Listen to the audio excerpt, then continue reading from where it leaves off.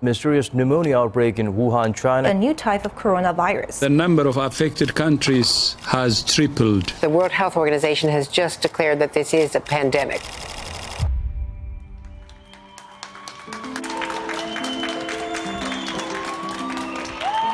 The city supports all essential workers who are showing up every day.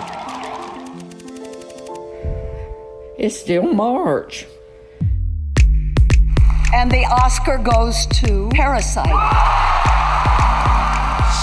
Please sit down. Thank you.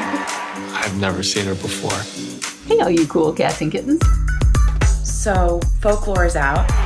Dodgers have won it all in 2020. The Los Angeles Lakers.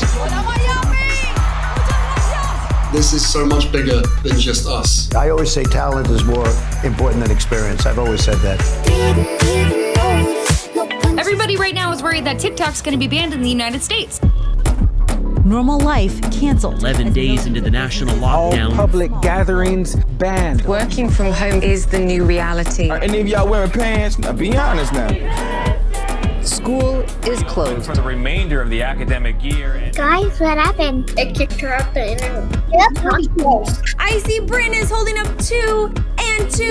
Lives of more than 400 million children. Zoom after Zoom can be exhausting. It seems like the world's caving in on you. Yeah, work never stops. It could be taking a toll on your well being. This is going to get worse before it gets better. Italy saw its deadliest day from the coronavirus as the death toll jumped by more than 600 in 24 hours. The plans we have is to contain contain the disease outbreak in Taiwan. We have very little problem in this country at this moment. Five people have contracted the virus. Let us build up our confidence. We will eventually win. Many of our countries in Europe are now acting to flatten, flatten the, the curve epidemic. used when talking about reducing the number of coronavirus cases. Americans on unemployment claims nearly 3.3 million More than announced. 6 million. I hope that's right. 10 million workers now applying for unemployment. 50 million unemployment claims filed in the span of just four Benefits, months. A disproportionate number are black. It's called systemic racism for a reason. There's 400 years of history here.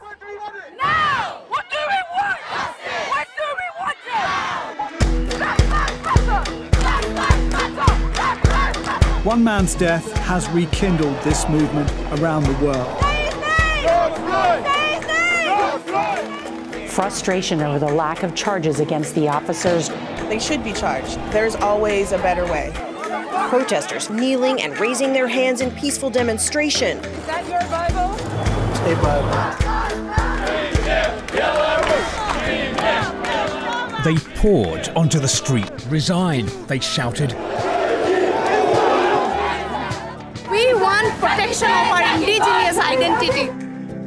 Against the killing of the youth, we want a new Nigeria where righteousness, peace, and justice reign. They are scared. They fear they are losing the power.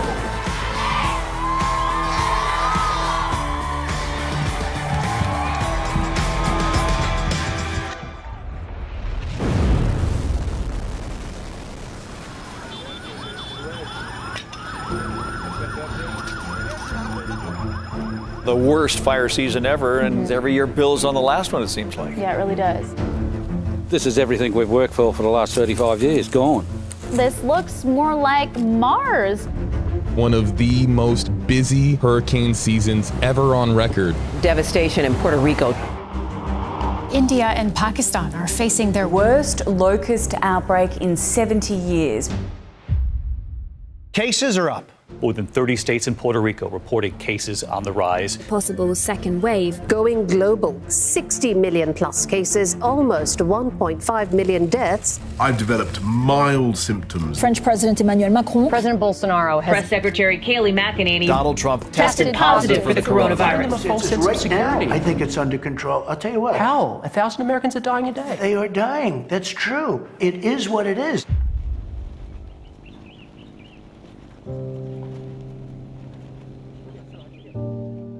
We don't have enough stretchers. We're way above capacity.